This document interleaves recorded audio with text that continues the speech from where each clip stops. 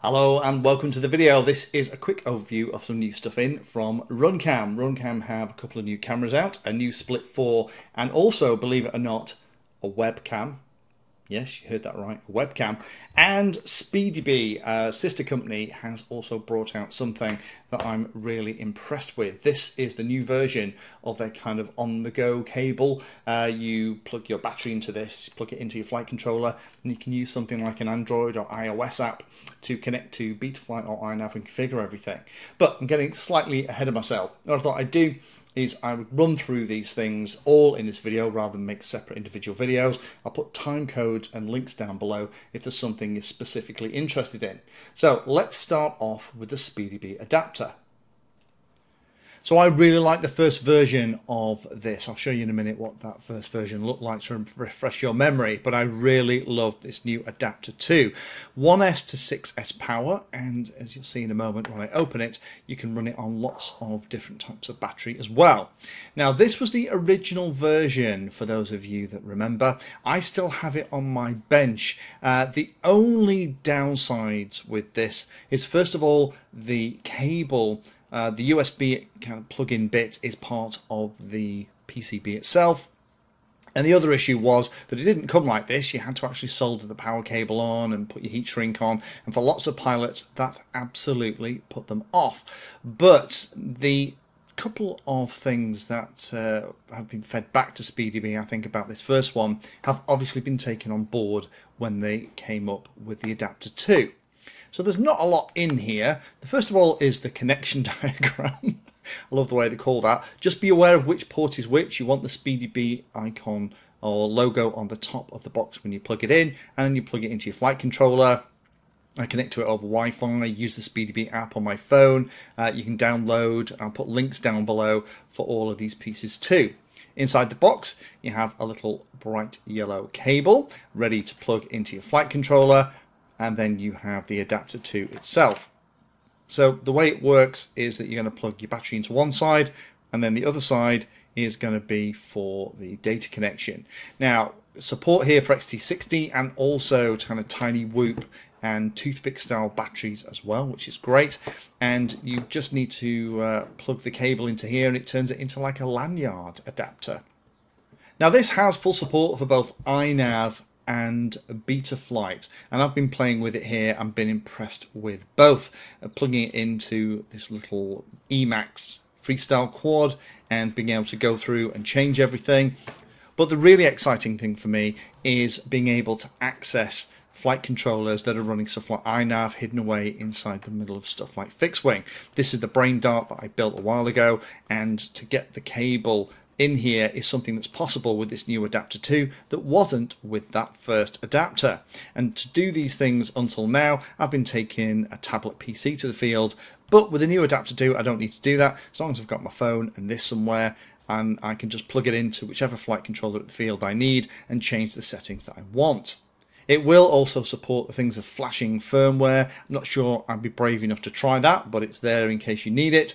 I do like the way that the USB cable turns into a lanyard loop and that allows you to keep it safe in the bag and this is definitely one of those things that will stay on the bench for me. Next one we'll talk about then is the Split 4. Now I am a huge fan of the Runcam hybrid style cameras. Those are the ones that have the two lenses at the front, one dedicated for the HD footage, one dedicated for the FPV footage. And until now, that has been my natural choice. Now, this latest version has a physically much smaller camera, still a full size board at the back. And I think it's more aimed at those builds, the toothpick style smaller builds, where you are stuck for space. I think with the smaller camera, it would have been nicer to have a smaller PCB as well. But the performance of this has been very impressive and it's one of the first splits that I would be happy to use alongside something like a hybrid. Now there are two things that have really impressed me with this. The first is that a lot of the settings is available via the buttons on it so you don't have to mess around with an app on your phone and you don't have to try and figure out things to the getting plugging in some kind of external joystick, you can go through and you can set everything up. And that's a really nice way of doing it. Personally, it can be a pain to try and mount cameras so that you can get access to the joystick port for when you want to change things or having to keep reaching for your phone when you want to change things like the recording setup. But if I show you some footage here of it in action, so here's what it looks like walking down the path, which I can do now because the UK is kind of out of lockdown. Field of view does feel wider than some of the other splits that I've had here, especially when you're looking at the FPV stuff. The colours and the contrast are much more natural on the default settings and it's performing very well. Um, you can see as I move it around the little bit of fisheye that is there. The saturation in HD is much lower in this new version and I like the way that it is exposing everything.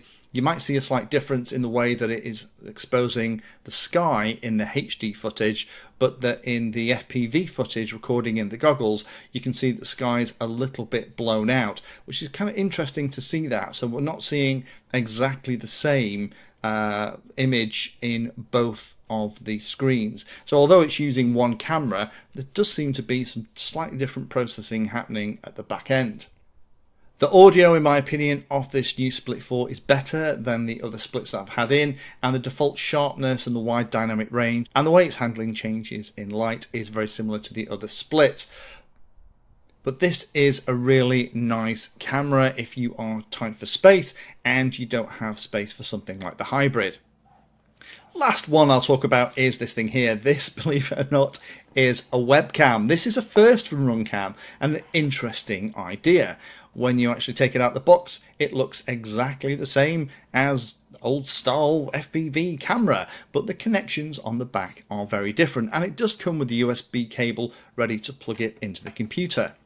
Plugging it into the computer, this is a Windows 10 laptop that I'm using here just for the test, seems to work very well. No need to download any drivers, everything's automatically configured, and both the microphone that's part of the camera and the camera itself appear in Device Manager without you having to do anything.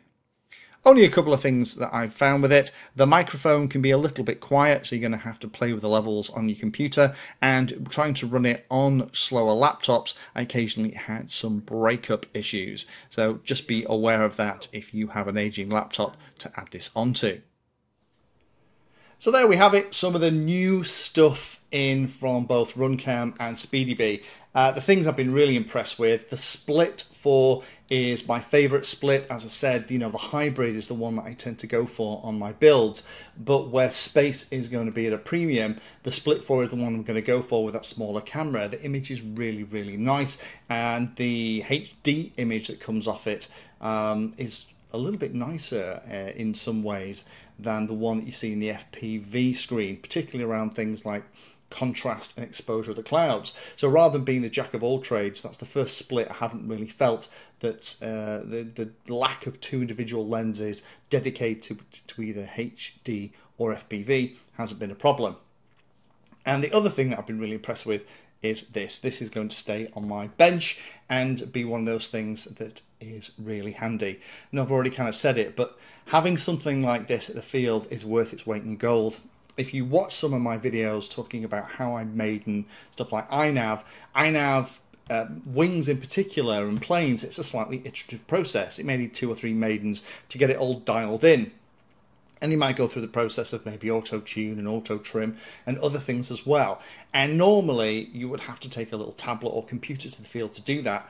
With this little fella, you don't need to do that as well. And the fact that it actually has the cable on here, so if I can get a USB cable into the flight controller, I can get this in uh, in it as well, is a massive boon because there were instances where the previous version I just couldn't get it to fit because of its all in one nature and the fact that for some people it just put them off because it had to do soldering. None of that with this new one. So if you like to change things at the field or you're constantly building and maidening stuff and you would just love a way to quickly and easily mess with your flight modes or your level or those kind of things, this is absolutely something that I'd recommend. Again, links down below if you're interested in finding out more. Thank you for watching my video and watching right to the very end. If you want to find out what I'm currently working on, you can follow me on social media by searching for Painless360 in the usual places. If you'd like to become part of the inner circle, then you can become a Patreon. Details are in the description and you get lots of additional benefits.